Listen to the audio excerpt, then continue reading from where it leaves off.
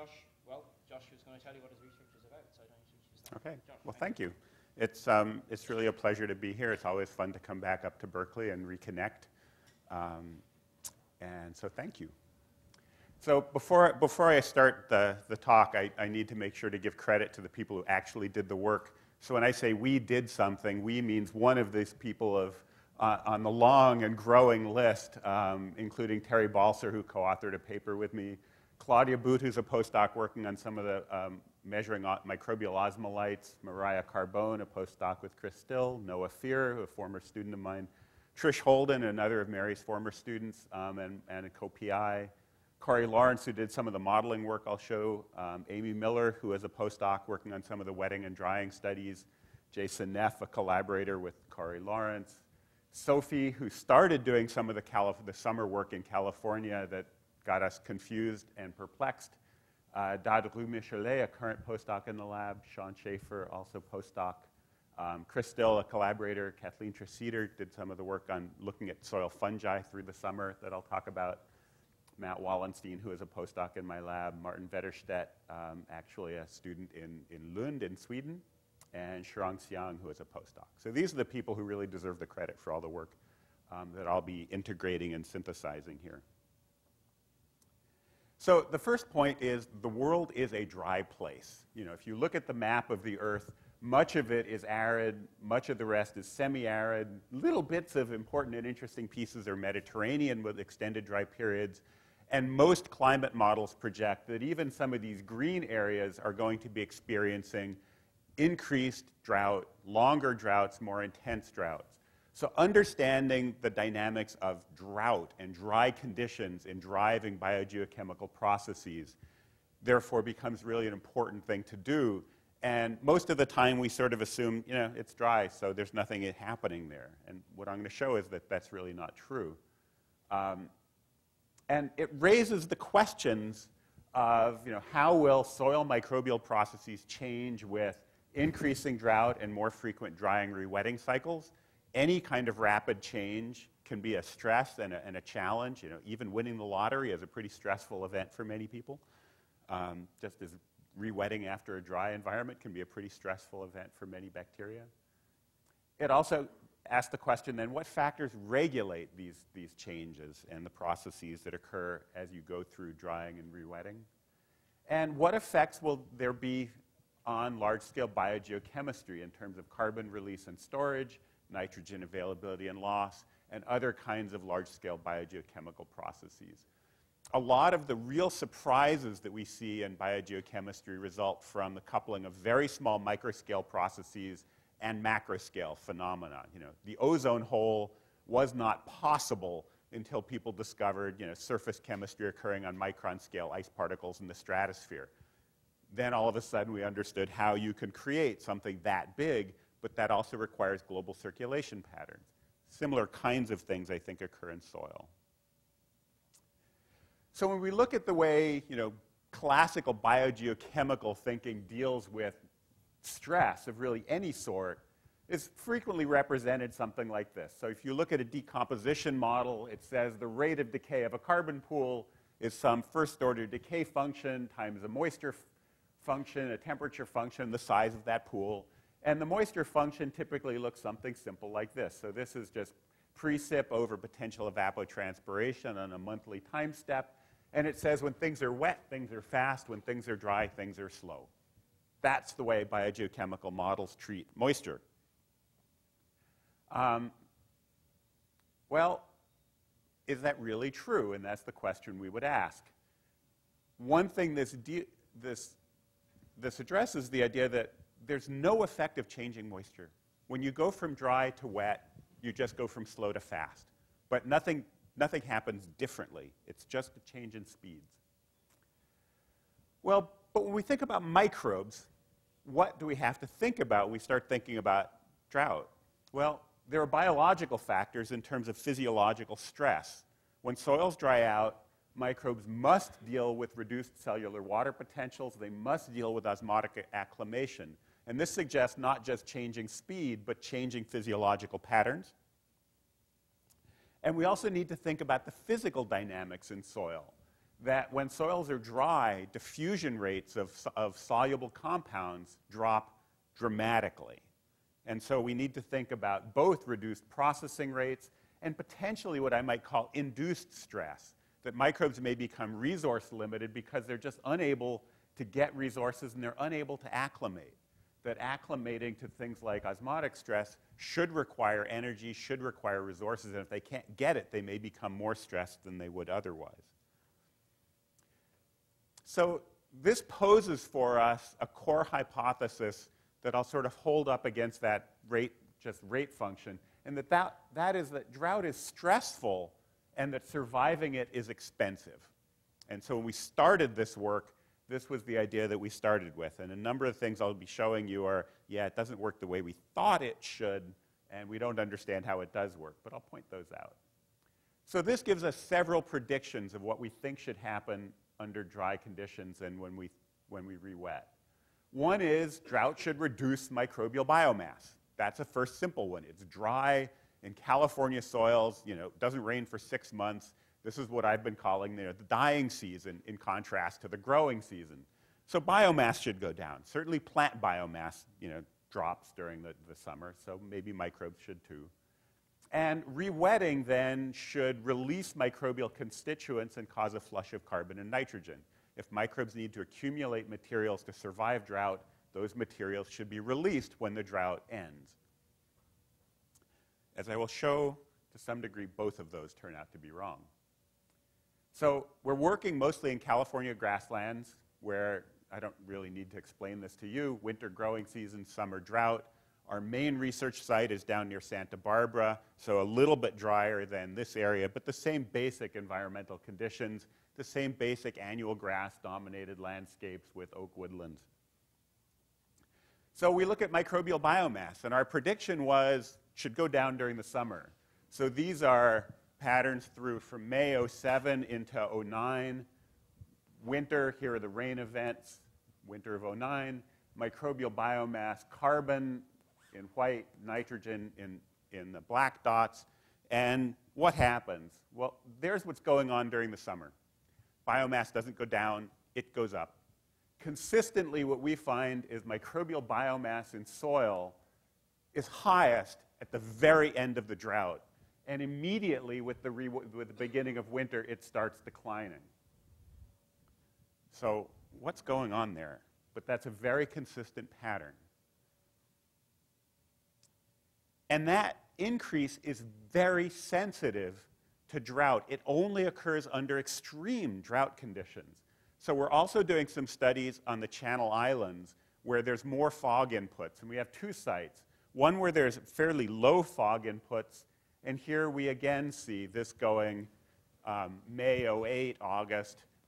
We're seeing the increase in biomass carbon through the summer. Here's December, and it drops immediately on the wet season. So this is a low fog, very dry system. And this is actually a, a, a Bishop Pine Forest site. But then we also have a, a site not very far away that gets more fog. And here, only in this most intense dry period, in these gray bars, are, fog drip events. Only when the fog drip stops for a while do we see some evidence of that increase in biomass. So it doesn't take much water to actually prevent this from occurring. It only occurs under the driest conditions, which is slightly weird. So the core hypothesis number one, that biomass should go down when the conditions are rough, is simply wrong. And that asks the question, well, why? Not only does biomass, but bioavailable carbon goes up during the summertime. Well, the first simple hypothesis would be that this is the accumulation of, os of osmolytes. Microbes are in equilibrium with their environment. They must remain in water potential balance with the soil. If the soils dry out and they don't do anything, water will sort of leach out of the cells and they will shrivel up and die they must accumulate solutes inside their cells to hold water in the cells to allow them to remain live and physiologically active. So this is one hypothesis, and it, based on pure culture literature, would seem to be a fairly reasonable one. The alternative is that this actually reflects growth of microbial populations and not an increase in the mass of individual cells, but an increase in the number of cells. So when we think about osmolytes under unstressed conditions, we can think about the microbial carbon budget. Carbon comes in, some of that is used for maintenance energy, some of that is used for producing extracellular enzymes and acquiring new resources. Whatever is left is largely going to go into growth, and so into producing proteins, lipids, cell walls, et cetera, and replicating cells. When cells die, some of that was released as CO2, some of it may go into soil organic matter. But when we say stressed conditions, microbes do different things, or so we understand or understood. Uh, carbon still comes in, maintenance still happens, resources still need to be acquired, but then the first priority should be survival, and that means producing compounds such as osmolytes, molecular chaperones, other things that allow microbes to, to survive the stress. These are mostly soluble uh, material that's going to be sitting in the cytoplasm, and so you would see accumulation here.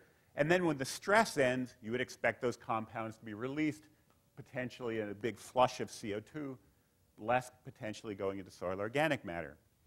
So this seemed like a good hypothesis based on much literature, uh, including some from, from Mary's lab, which is where some of these ideas started, in this brain at least. Um, and what are those osmolytes? The physiological literature highlights that bacteria produce largely amino acids and quaternary amines. Fungi are, seem to be smarter in using resources that only use carbon, glycerol, and mannitol. These soils are bacterially dominated systems, and so we figured that these would be the dominant compounds microbes would be producing. So we decided to set out and measure them.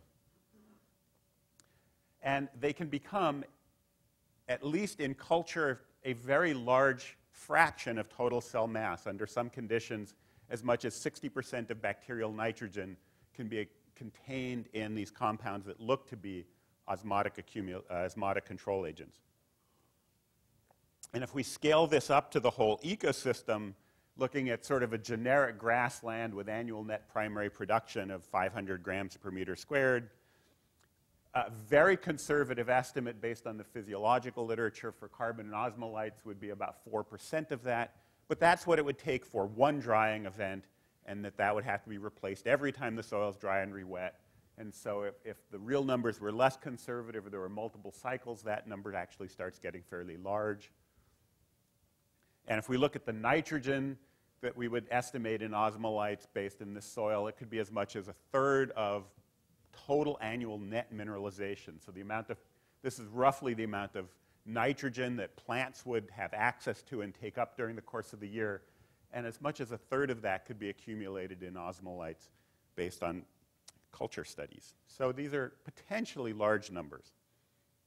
So we set out to measure them. So we take soil samples, we lyse them with the cells with chloroform, we extract the amino acids, we analyze them by HPLC, we use an unfumigated control to look at just background, and then um, cellular amino acids are what we get in the chloroform fumigated treatment minus the unfumigated. And we've done various, you know, experiments where we add in amino acids and then do the extraction and all the, you know, the quantitative control stuff. So what do we see? Uh, no amino acids in, in unfumigated soil solutions. So we never see any background, even though this is a water extract of dry soils. No cellular pro proline, even though this has been commonly identified as a bacterial osmolyte. The only significant cellular amino acid we ever see is glutamate, and we see quite a lot of that, actually. But when we look at the patterns, this is glutamate as a proportion of the total microbial biomass. Here's the winters. This is glutamate carbon, glutamate nitrogen. And what do we see is that through two full years, glutamate is consistently about 2.5% of total microbial carbon, and it doesn't vary very much through the year. A bit higher during the peak of the growing season in winter. Here again, there's this one little spike here in the, in the late summer and one summer. But these are not the patterns that you would expect to see if this were an, os an osmotic agent because then you would expect to see it starting to accumulate here as the soils start drying out and would stay high. In fact, this sort of drops, you know, right with this first little rainfall. This, this looks like it might be osmotic, but we don't see the same things happening here. it certainly doesn't really look like an osmolyte. And the concentrations aren't high enough uh, by itself. When we just look at total glutamate as a per unit carbon or per unit soil, what we see is it tends to be highest during the late winter, which is the peak of the carbon input season when plants are growing, we would actually expect microbes to be growing fastest. Again, we do see this one blip here that we don't quite understand, but none of this is very consistent with glutamate actually being uh, really an osmolyte. So, how are microbes osmoregulating? They're not using amino acids, is what we're seeing. Glycine betaine and other quaternary amines are one possible compound. We're analyzing those. Those analyses are not complete, but we don't see enough of it. It doesn't look like it, it's behaving that way either. Um, it's possible that glutamate is a constitutive osmolyte. Some microbes do, do that. Um, but it doesn't look like there's enough there, that the concentrations aren't high enough to, to really justify uh, concluding it's an osmolyte. The third possibility is just salt. We know that many organisms can use salts as an osmolyte, but they are the osmolyte of last resource and last resort. You know, before they die, they will accumulate salt. But in a situation where microorganisms are carbon starved and maybe even nitrogen limited, maybe it's not surprising that under natural soil conditions, they're just using salt and not using organics. Um, pure culture, we tend to give them lots of carbon so that they would use the preferred, not, not the default. So it doesn't appear to be osmolytes that control microbial uh, populations. How about microbial growth, actual populations? Well, we've done some qPCR work um, with group level primers and looking at different groups. And there are some groups that actually don't change much during the summer. Several, like the proteobacteria and the, and the acidobacteria, that do seem to decline dramatically. And this is looking at the DNA for each group in which we took the total DNA and multiplied it by the percentage that showed up in a qPCR. So there might be some extraction issues between summer and winter, but um, but we don't see much evidence for any particular groups really increasing dramatically through the summer. Uh, it's interesting that the acidos decrease. I tend to think that acidobacteria are you know, the toughest bugs in the, in the dirt, and I would expect them to be fairly steady, but they actually decline dramatically. The proteobacteria I tend to think of as weeds, and so it's not a surprise. But no real obvious evidence of fungi accumulating, or bacteria accumulating. We've also looked at fungi through the summer, and this was work that Kathleen Treseder and her group did, where we put plastic tubes down in the ground, and then you run a camera down um, periodically and come back to the, to the same spot over and over and over again, starting in, in uh, April and then all the way through October, with some of these being daily images to look for more rapid turnover. And what you can see is that you can see the same hyphae and the same fungal structures in the same places, and then you can actually you know, match up the camera location to location and look for the appearance and disappearance of hyphae to actually look at fungal growth and fungal death um, through particular hyphae.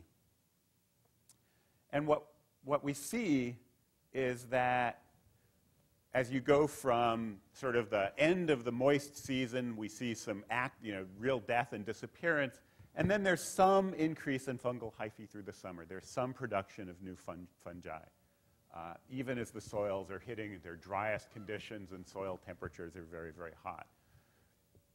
There's not a lot of increase, and we haven't actually sort of done enough of the math yet looking at fungal bacterial to see whether this could account for the overall increase in biomass. But it's still, therefore, not quite clear who it is who's increasing during the summer. That's still ongoing. So, why would biomass increase during the summer? And this, I think, is an important question. Respiration is vanishingly low, microbial activity is low, soils are dry. So, why would biomass increase? Well, pet hypothesis that I give somewhere in the range of about a 50% probability of maybe being right is that it may actually have to do with trophic dynamics.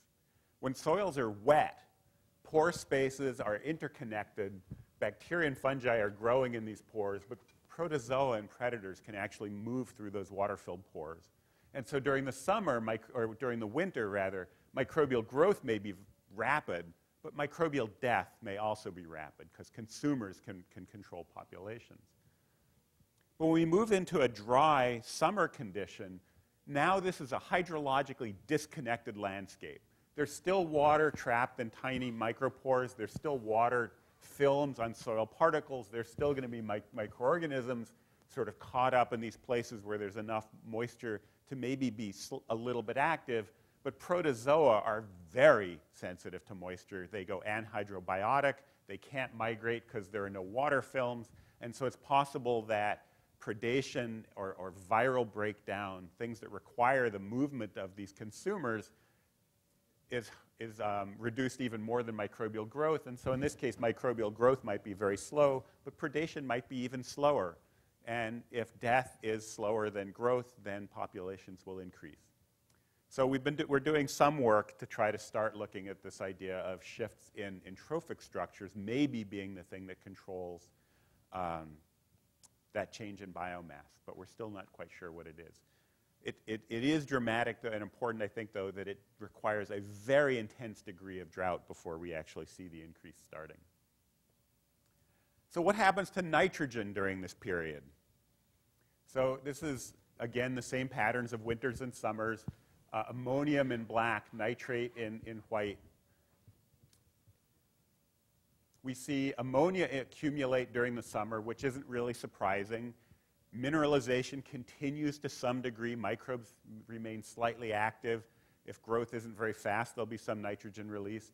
But then what's interesting is that during the winter, well, nitrate is consumed as plants grow and microbes grow, but this transition occurs very quickly. As soon as the water hits that ammonium is nitrified very rapidly on, on this kind of time scale um, to, to, nitrate, and so the nitrifiers switch on uh, very quickly.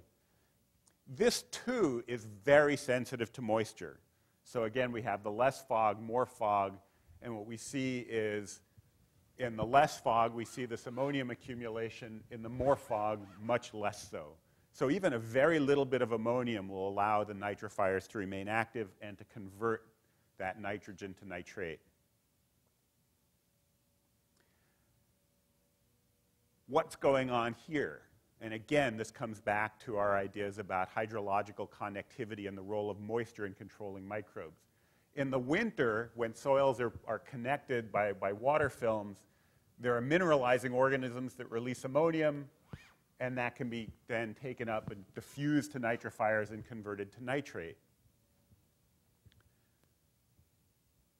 But when the summers, the soils are dry, if you happen to you know, have nitrifiers and mineralizers in the same microenvironment, any nitrogen that is mineralized may be converted to nitrate, but some ammonium is going to be produced and released in environments where it cannot diffuse to the nitrifiers. And so it sits there untouched until this pore and this pore connect and the, and the ammonium can diffuse. So again, I think a lot of what's going on in regulating that ammonium nitrate switching has to do with this kind of hydrological connectivity in the, in the microbial landscape and what can actually interact with what. In the winter, we see a, a, a community that functions at a larger scale. In the summer, communities are collapsed down into these isolated little pockets that operate very distinctly from each other. So, dry season conclusions. Microbial processes do continue if slowly. They are qualitatively different than those that occur during the moist season, and this we think has something to do with resource allocation patterns, though we still don't fully understand what the hell is going on. It has a lot to do, we believe, with the physical controls and this idea of hydrological connectivity in the landscape. And importantly, as we think about larger scale biogeochemical dynamics, what goes on in the dry season establishes the antecedent conditions for the following wet season. Hydrologists know that a big rainstorm following a dry period does very different things than the same size rainstorm following a wetter period. And so the conditions that happen before you know, that rainstorm really control the dynamics. And so understanding what creates antecedent conditions is important at a biogeochemical scale hydrologists use this sort of as a euphemism for stuff happened, but we don't typically understand exactly what. So we're seeing some of the processes that regulate you know, biogeochemical antecedent conditions. Well, now let's switch from the dry to the wet season and think about what happens at that transition and the role of wetting and drying processes. Remember, biogeochemical models just say it gets wet, things speed up. Well, we've known for a couple of years, like since 1950, that um, when you take a, a, dry soil and re-wet it, you get this burst of carbon respiration. This, this was what's known as the Birch effect after the, the fellow first did it. You dry the soil, re, re-wet it, you get another pulse. But if you just sort of dry it, wet it, and let it go, that pulse dec declines. So this is in direct contradiction to that idea of things just speed up and slow down that re-wetting, the, the, actual sort of phase transition of water, creates these pulses of activity that may be very important in, in systems where, where drying and re-wetting is common. The challenge in dealing with the Birch effect in terms of linking mechanism to, to large-scale dynamic is there have been two major hypotheses for what causes it.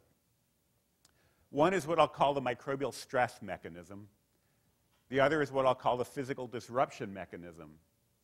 The microbial stress mechanism says that the material released and respired is cellular material. This is the osmolyte release kind of idea. If that's the case, this is an enormously labile pool of carbon in the soil.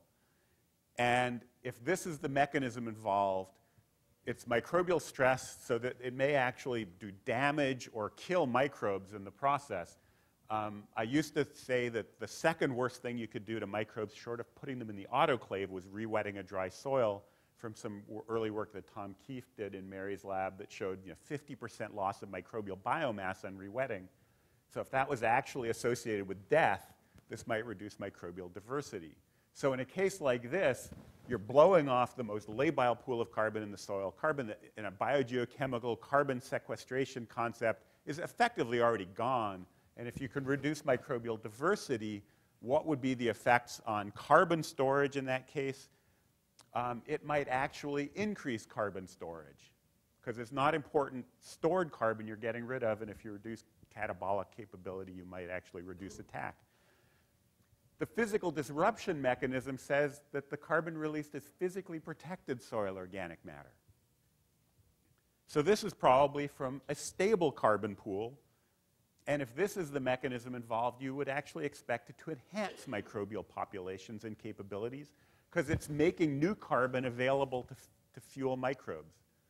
So where this mechanism, if this is involved, it says drying re-wetting cycles might actually help stabilize carbon in soil. If this mechanism involved, it would suggest that actually drying wetting cycles should drive carbon out of soil.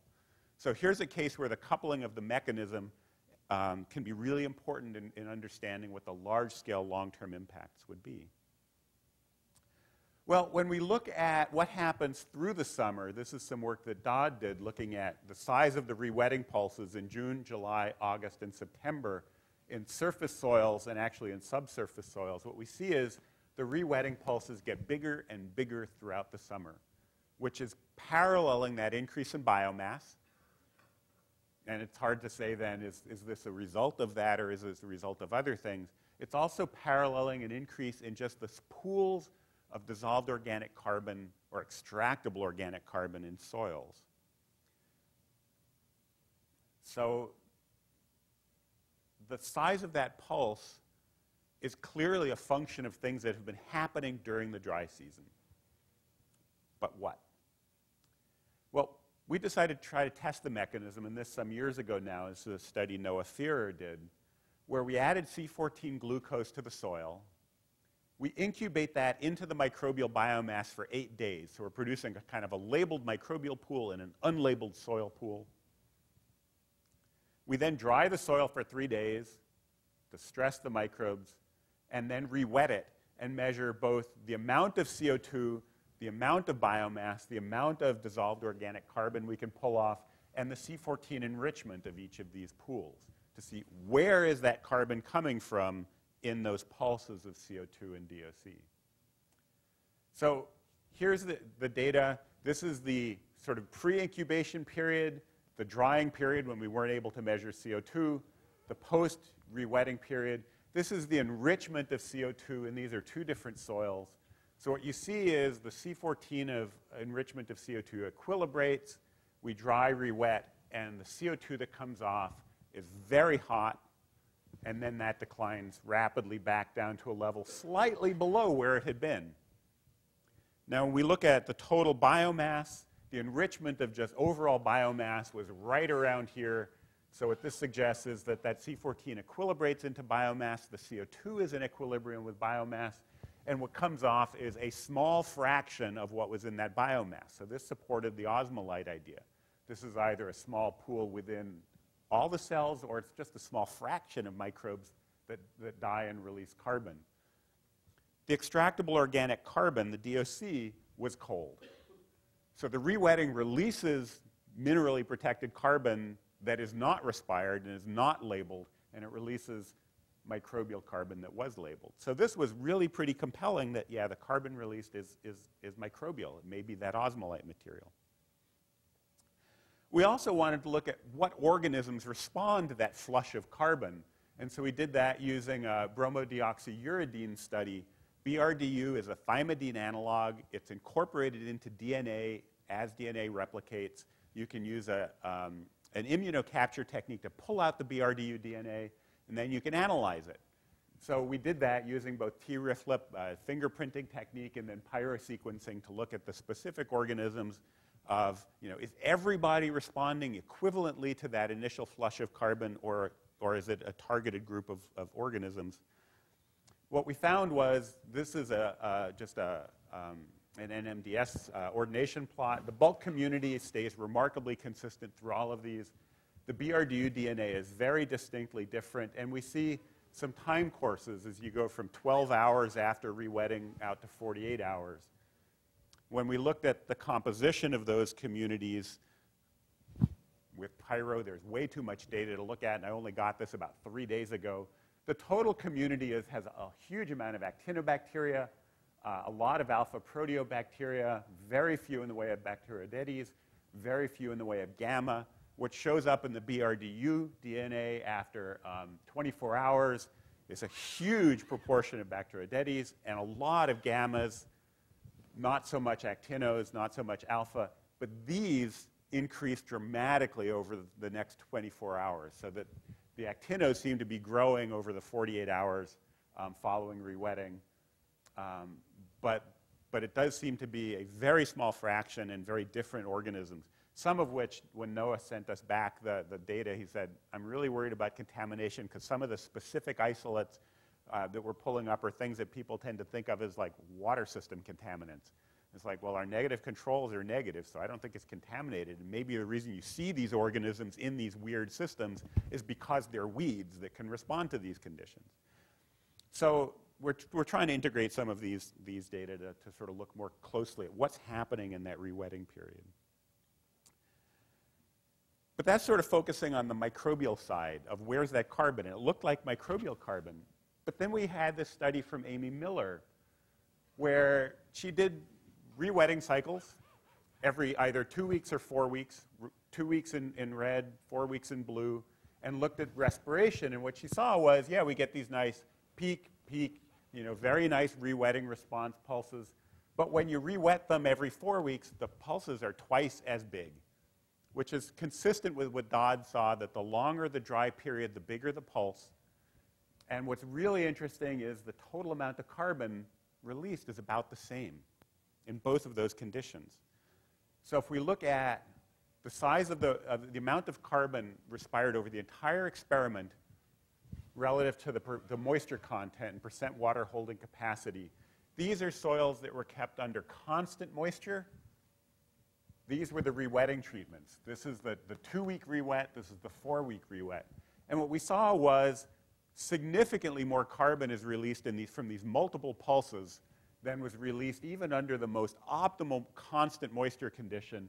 And in fact, this difference is greater than the amount of total carbon that was in the microbial biomass at the beginning of the experiment.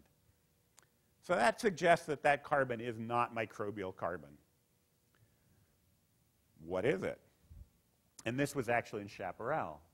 We did a similar study um, on grassland soils, and what we found was here's the biomass initially, biomass under continually moist condition, and biomass under multiple 12 rewetting cycles, and the biomass goes up. So more carbon is released from the soil than was in the biomass, and the biomass also goes up. Ergo, it's not microbial carbon we're releasing.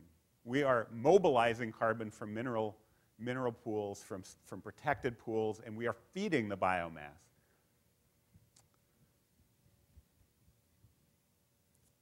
So it's not microbial carbon. But Noah's study said it was microbial carbon, and that's kind of a contradiction. So how do we start reconciling these things? How do we reconcile data suggesting the pulses are microbial with those suggesting it's physical? Well, the hypothesis that we had put together was that microbes accumulate osmolytes. That's now, I think, a questionable hypothesis. Um, on a rewetting event, that's released as CO2, but there's also this flush of mineral carbon from things like aggregate disruption and other processes that becomes released in the soil that as soils then dry down again, that that would be taken back up and that microbes would synthesize it into new secondary materials, potentially into new osmolytes or other kinds of cellular materials, and that that would be released again on rewetting.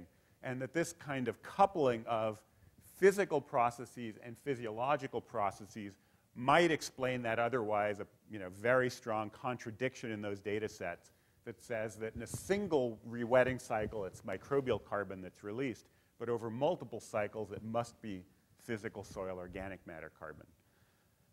I don't know where we stand on this because I don't know how to deal with uh, that Noah study of we can't, we don't see the osmolytes, at least in nitrogen compounds, and we're working on the carbon compounds. Um, yet, it was clearly microbial carbon. So what is, what is happening here? One thing that's important is we never see any evidence of any significant declines in microbial biomass just from a single rewetting event or even multiple cycles. So the idea that that's actually lethal to organisms, I've, I have kind of gone away from. I think microbes actually survive drying rewetting cycles quite well, um, even if they release carbon, even if there's this flush of resources. But what those resources actually are, we still don't know. Um, so what really seems like is going on is that there are processes going on during the dry phase that's releasing microbial, uh, microbially available material that then is then metabolized on rewetting. And what are those processes to be occurring?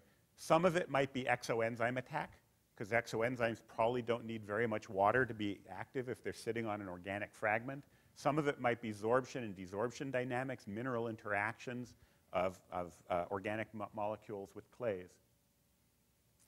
One thing we do see is that when we look again across this period from 07 to 09 and look at dissolved organic carbon and nitrogen, really it, I should be calling it extractable organic carbon and nitrogen because in October I don't think it's in solution, but these pools do increase, which may explain why, why Dodd saw bigger rewetting pulses here when there was just a lot more of this material in the soil than here. So there are things happen, happening while soils are dry um, under conditions where microbes can't get at this stuff that they accumulate and then become available when the conditions become primed. We see similar things in the Arctic work when soils are frozen. Things accumulate and then are flushed when they, when they re-wet. And it goes down when things are wet. So then to sort of start wrapping up this, how do we start trying to integrate these kind of fine scale microbial dynamics into larger scale models? Because ultimately, models are the tools we're going to use for linking across scales and integrating physiology and, and large scale biogeochemistry. So, what we know is that the models we have tend to do a bad job um, under these conditions. These are results from DayCent, which is a large-scale biogeochemical model that runs on a day time step, and it's the, the traditional century model otherwise. This is stream flow over years from 85 to 99 in a chaparral, and what it shows is it does a pretty good job on the hydrological patterns. When we look at nitrate export, so as an index of capturing soil carbon and nitrogen dynamics, um, on the lower axis. Here's a period from 95 to, through 98, which was a very wet period in California. And, you know, the model doesn't do terribly. You know, it's hard to actually know how good good is or how bad bad is in these kinds of data. But these at least are capturing about the right kinds of patterns. When we look at the, the drought period of the late 90s into the mid, or late 80s into the mid 90s, what we see is that you know, the model did an absolutely abysmal job of capturing those pulses. And that's typical. These kinds of models are based on a quasi-state, steady state assumption that microbes are in equilibrium with their resources and their environment. And when you're dealing with a pulsy, flashy environment, that's not true. They don't deal well with non-equilibrium conditions, but that's what we're talking about. So we need models that don't make the assumption that microbes are in equilibrium with their substrate pools and environment. That means adding some microbial mechanism. It means considering shifting microbial resource allocation patterns to think about where carbon goes. And it means integrating physical controls on carbon supply to microbes. So, and the question is, can we do better than these simple first order models? And so Jason Neff and Corey Lawrence and I put together a simple model this is the simple first order carbon model where there's light fraction organic material, dissolved organic carbon, and heavy mineral bound stuff. That can go into microbes which respire to CO2 using simple first order pool driving the flux. And then we built uh, several models, but the most complex has microbes that make exoenzymes that convert light and DOC material into a bioavailable DOC. That then gets taken up by microbes. The decomposition is catalyzed by enzymes using what we call reverse Michaelis-Menten kinetics. The enzymes can saturate on the substrate instead of the substrate on the enzyme. Uptake is more Michaelis-Menten. And we use the Amy Miller data. And what you have a hard time seeing in here is so this is the simple first order model relative to the black line. There's the black line. The first order model actually did a pretty miserable job of capturing these dynamics, um, even here early on. Two other sort of intermediate complexity models, and then the most complex model. What we found was, interestingly, not surprisingly, the most complex model captured patterns the best. But we looked at the statistical power of the models, which account for the number of degrees of freedom as well as the quality of the fit. This was the best model but what was the second best model in statistical power? It was the simplest one.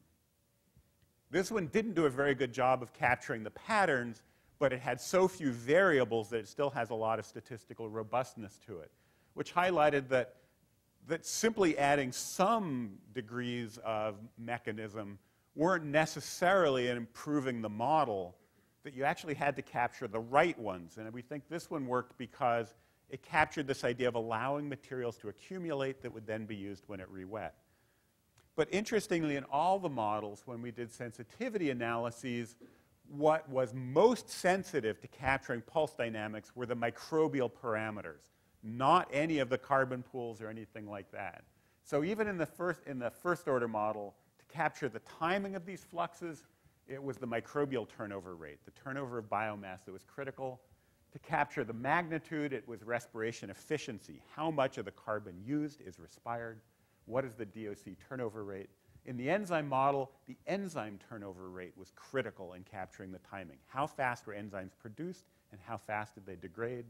The magnitude had a lot to do with how fast microbes could actually use material and how fast they turned over. So to capture pulses, you need to capture essential microbial dynamics. So, conclusion on the modeling. Single scale biogeochemical models do poorly because they don't capture fine scale detail that's essential. Even a simple model that incorporates some microbial mecha mechanisms with a larger carbon pool model captured pulse dynamics actually quite well.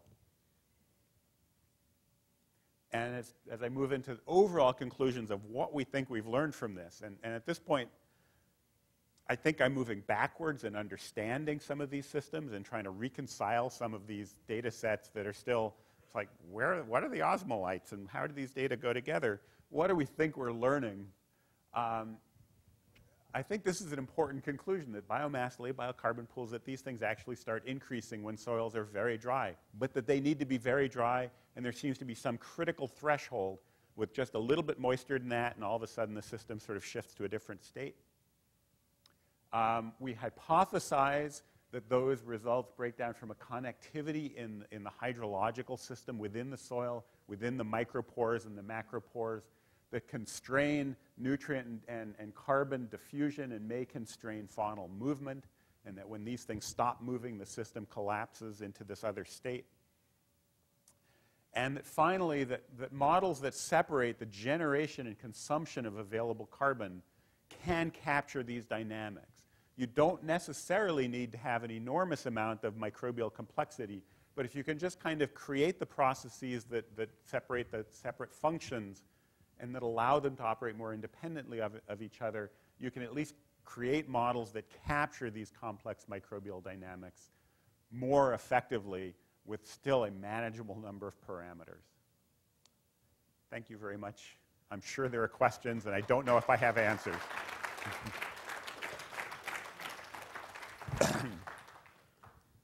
Mary, oh.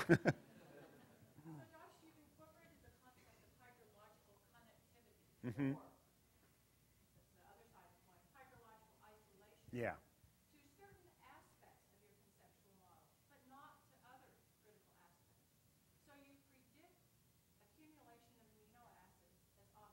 The other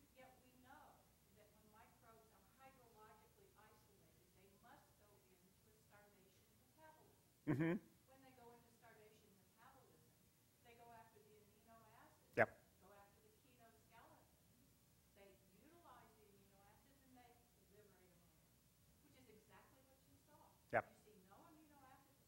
And we do see ammonium. So how come you didn't? Because we're. um, because as with most research, I think you know you sort of pick up ideas from different places and start weaving it together. But uh, microbes must osmoregulate. I mean that I do believe.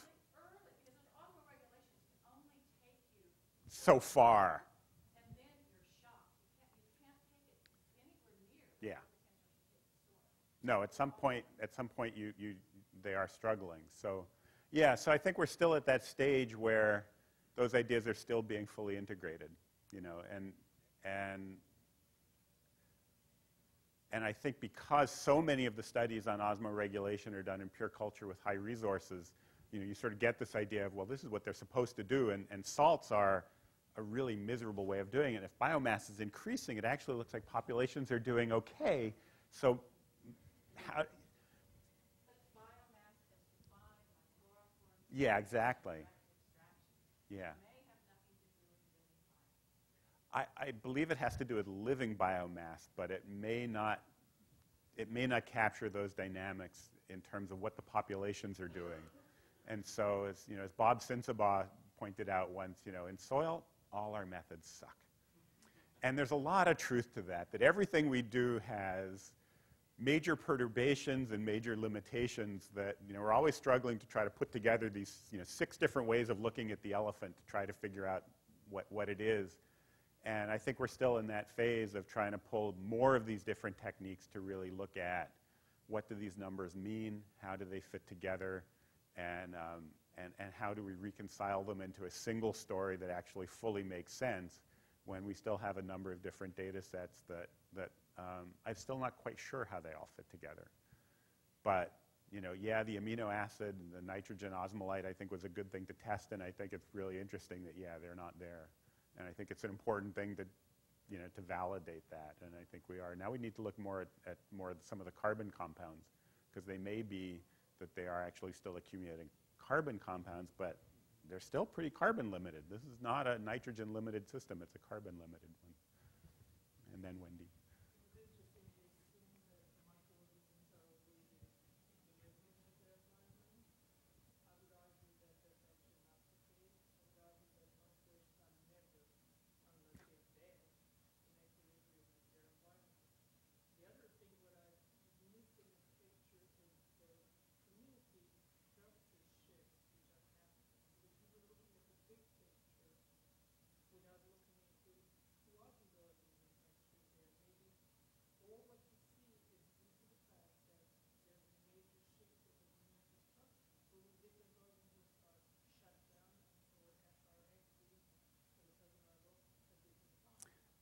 A couple. First, um, the biogeochemical models are based on an assumption that microbes are in equilibrium with their environment.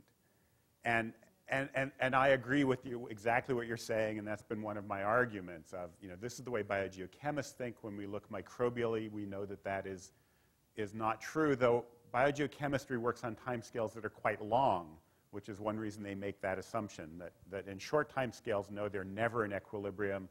When you sort of average out over weeks or months, maybe so. In terms of water potential, um, yes, they probably do need to stay in, in, in, equilibrium because water can move fairly freely across membranes and bacteria are in intimate association with water. So that's one where the equilibration is going to be quick.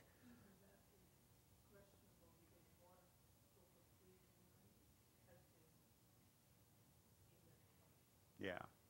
But part of the issue here is one of, of time scale and the time scale at which microbes are doing microbe things and biogeochemists are thinking biogeochemical things and the assumptions they make about microbes. And part of what I'm trying to show is, yeah, those assumptions don't work under these cases. Um, in terms of community shifts, the bulk community doesn't seem to change um, dramatically in some ways. We've seen some patterns. We're still working through some of those data. And to what extent these patterns are shifting of activity is work we're still working on.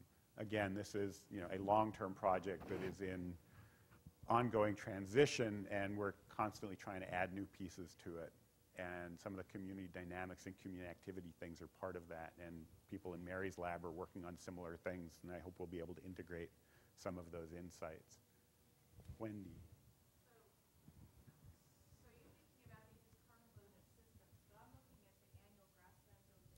Mm-hmm.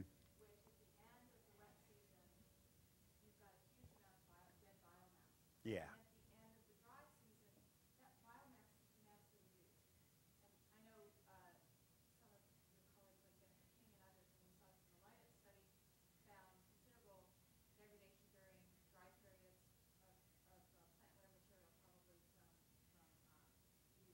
Yeah. But then you've got morning dew, too, in the system. So you may have this carbon-rich resource that's getting a little tiny drip into that soil over the course of the summer. That may be very, you know, available for, for the soil like In the stuff on the standing dead, I think that's possible. That particularly since we see these pretty big changes in pattern with just fog inputs and not, not a huge amount of water. So when you've got a lot of litter either sticking up from the surface or just sitting on that very thin layer on the surface, fog inputs might be important in regulating what's happening in the litter zone. But very little of that moisture, I think, actually penetrates down below the top, you know, sort of fragment.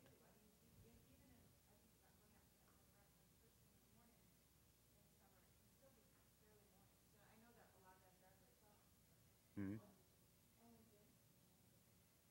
And, and we see those kinds of dynamics in, in, the, in the fog sites on the Channel Island. When you get a lot of fog, we see a moist condition. But even where you get less fog, it seems to go into this more sort of dry season pattern. And, and that was actually on, on more on litter, not even in the mineral soil. So I think the mineral soils of these sites are pretty insulated hydrologically from that sort of dew and, and fog inputs. Oh, and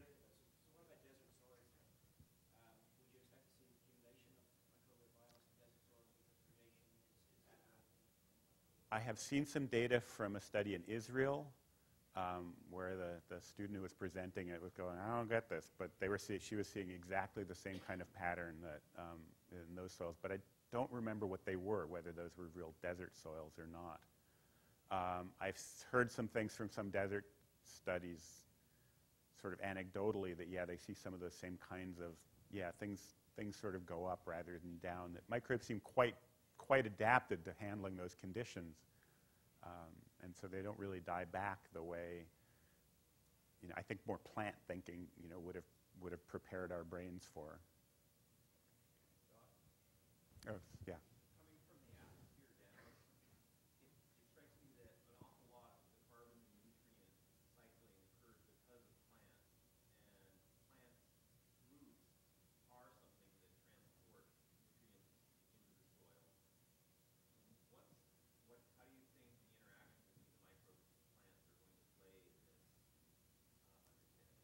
Well, these were mostly in annual grasses. So during the growing season, what we certainly see is plants drawing down nutrients and supplying carbon and lots of active dynamics. By May, when you're sort of hitting the dry season, they're mostly, they're mostly dead.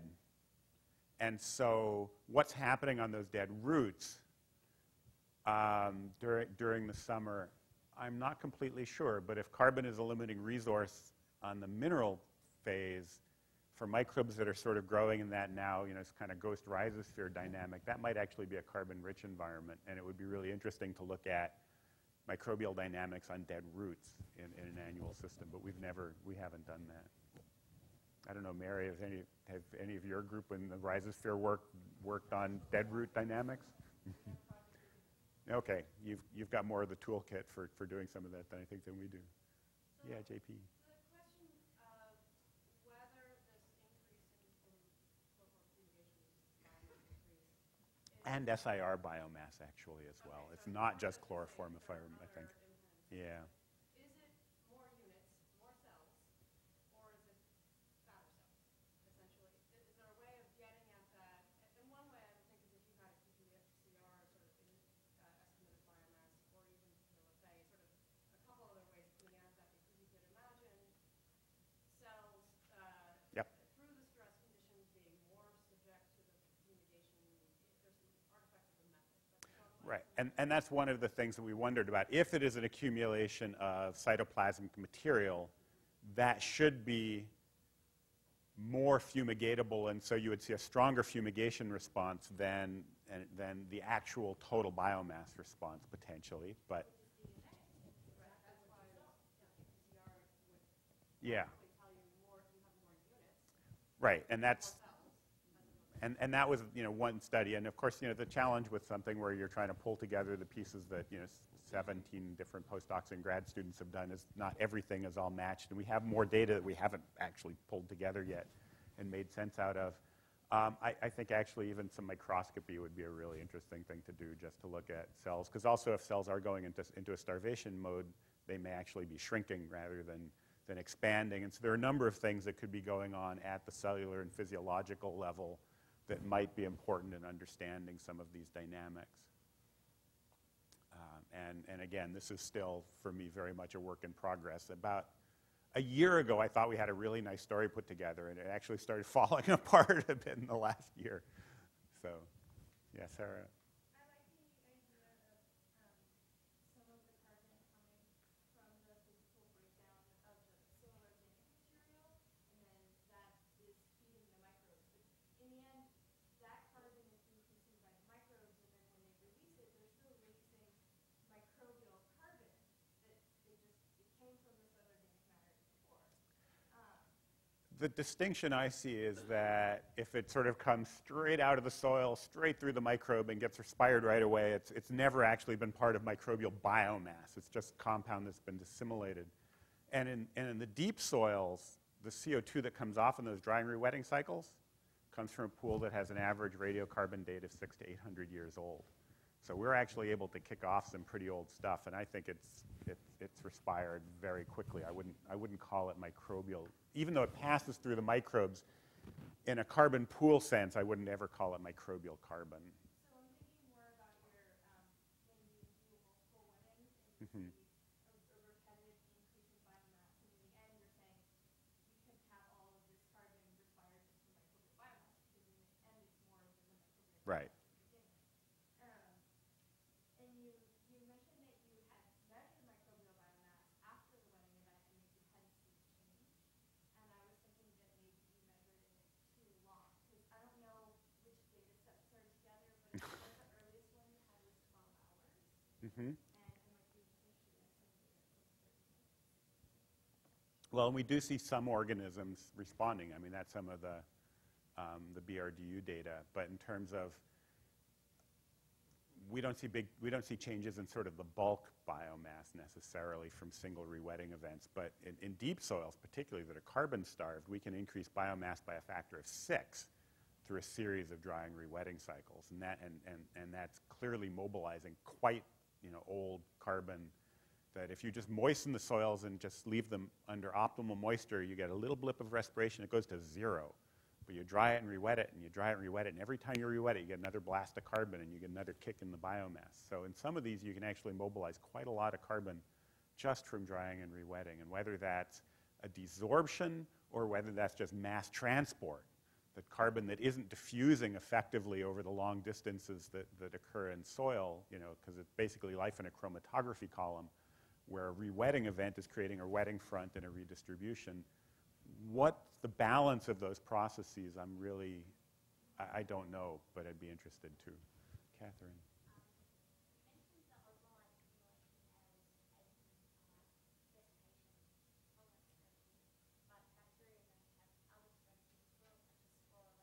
Mm-hmm.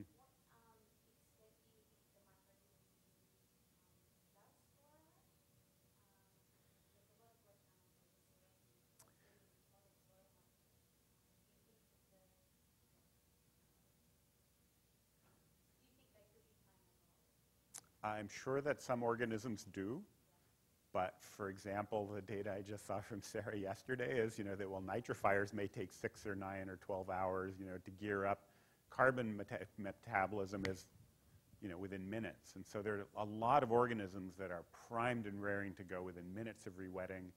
If you go back to some of um, Phil Brookes's, you know, old data from 20 years ago on adenylate energy charge, what they found is that even in a dry soil, microbes had an AEC of you know 0.9, which is what you expect to see in a, in a physiologically active growing cell, where spores you know should be down at 0.3.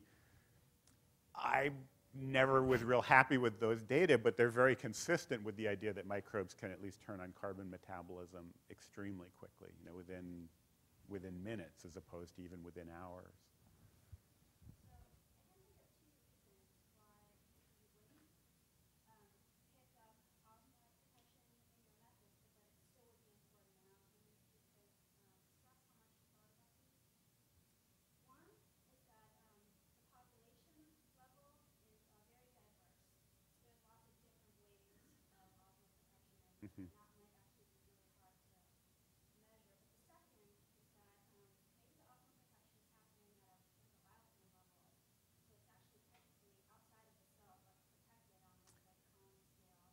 We've, we've thought about both of those things. Um, many different taxa of bacteria use, at least in culture, common pools of compounds, either amino acids, and we scanned you know, the entire suite of amino acids in these studies.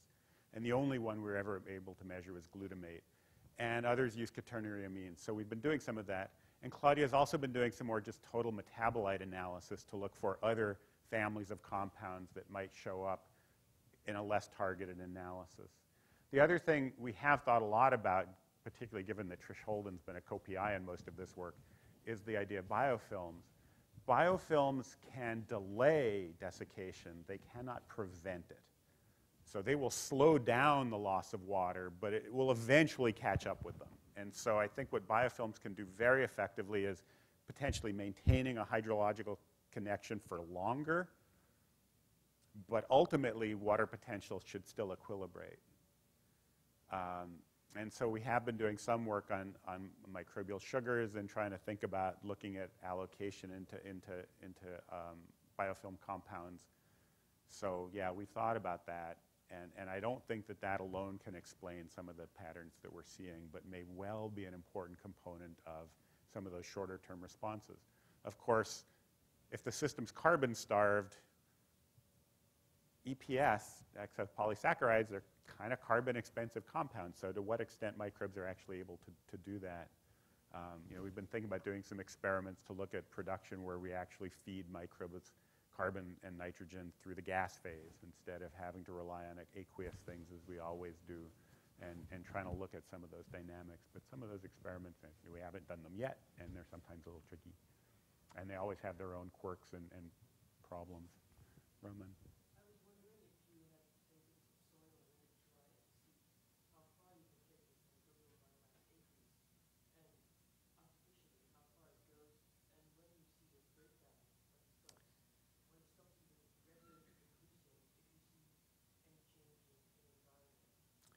Um, Dodd has done some long-term dry incubations, but not, you know, but not long enough that we've sort of seen an endpoint to the processing, and, and that's, that's months. And even in the field, it's, uh, it's, it's you know, six months of, of, of drought. So I don't know how long it would take to sort of see things stopping or, or what even would cause that. I mean, it might be that some of that carbon is coming from breakdown of roots and enzymes that are supplying some carbon from those dying roots, and maybe, you know, I don't know where the carbon is entirely coming from. That, that was my question. Where is the carbon coming from? You've got this connectivity issue, which is limiting diffusion, and you've got a water availability issue, which has to limit extracellular enzyme. So uh, you've got some dynamics in terms of microbial community turnover, but Yeah. it's mass balance.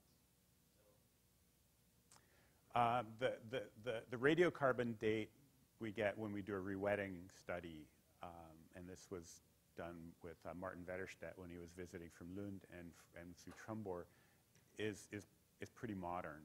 So we can't peg that down super tightly.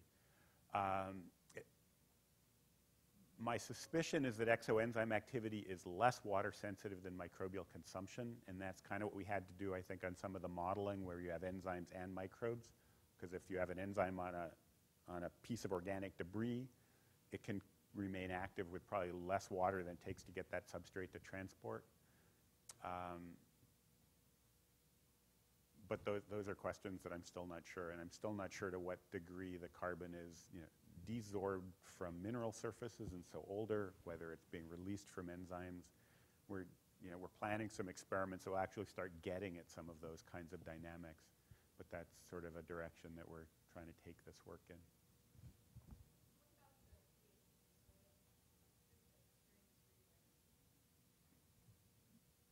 These soils are pr- pretty comfortably near, you know, just slightly subneutral, if I remember right, but we've never looked at actual sort of major uh, changes during rewetting. So, what are what are you thinking that might be going on? Oh, yeah, yeah, or, or be sensitive to that immediate local pH. No, we, we'd never really thought about that.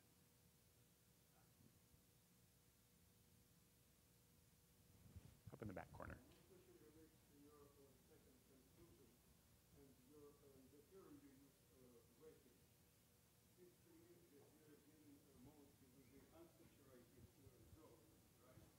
Yes.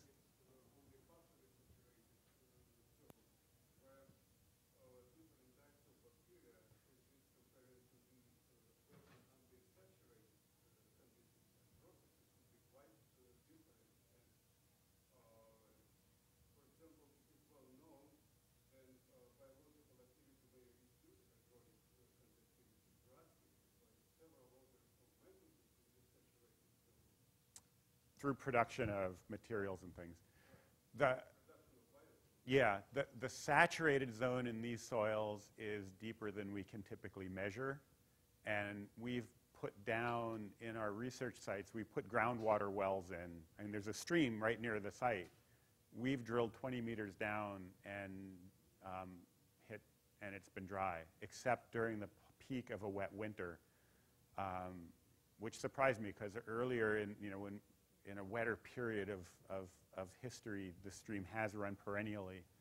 But um, in other sites, we've dug five meter deep pits and looked at what's going on down to five meters, and those are dry consistently. So these are sites where water table is very, very far down and does not appear to be connected to the surface soils in any way. That it takes an enormously wet, you know, massive El Nino year to ever fully saturate these profiles. So I'm not, we don't actually know where the groundwater is coming from, but it's not actually just sort of moving down from the top and then appearing there. It's coming from other parts of the landscape.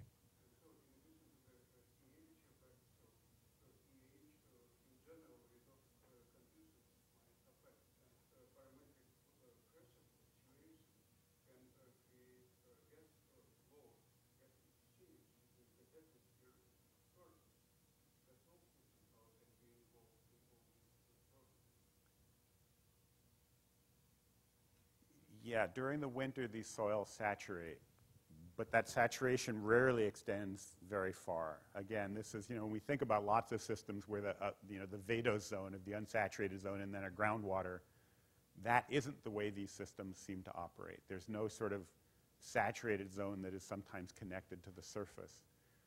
So there can be anaerobic processes certainly going and gas exchanges going on. When we've measured gases through the soil profile, um, we rarely see much evidence of you know, oxygen depletion that we haven't looked in this immediate surface during you know, sort of the peak of a storm when soils are saturated. They're very clay soils, and so I'm sure that there is some anaerobiosis. Um, how that affects the community composition or community activity during some of these periods, I'm not sure. Um, but certainly during the summer, these soils are highly aerated and consistently aerated. Sarah?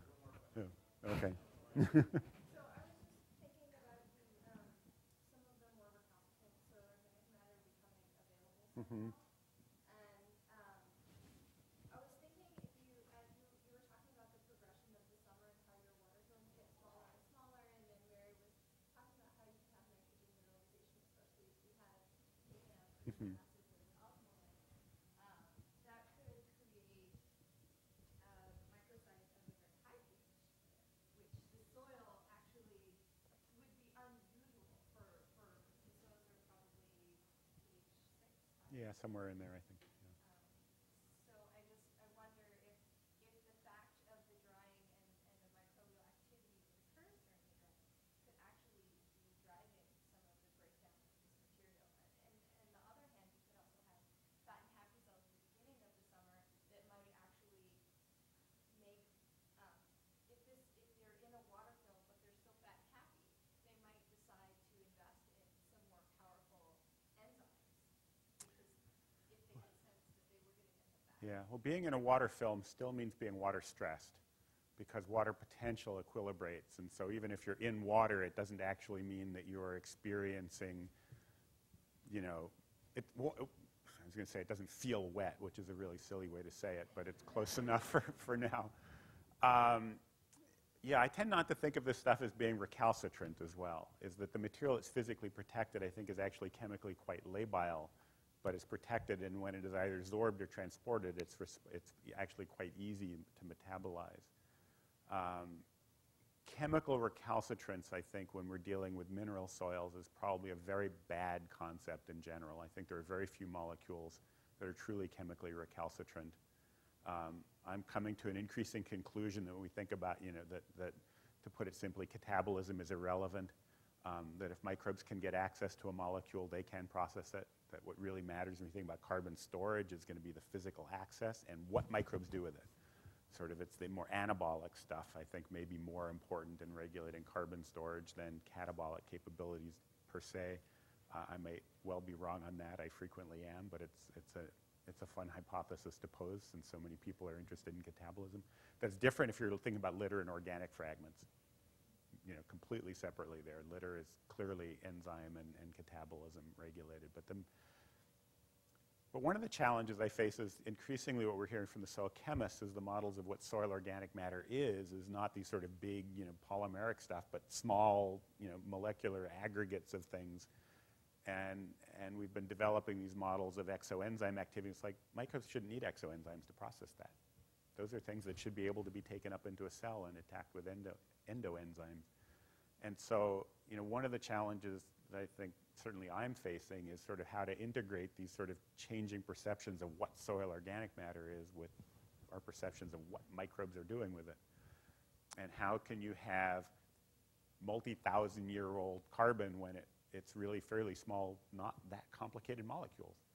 Um, but those clearly have to do with physical, physical and chemical mechanisms of absorption, dis- dissolution, reducing the activity, rather than it's truly chemically recalcitrant and can't be processed. I mean, even with black carbon, the models are saying it's smaller fragments rather than bigger fragments and things that maybe microbes ought to be able to get their teeth into. So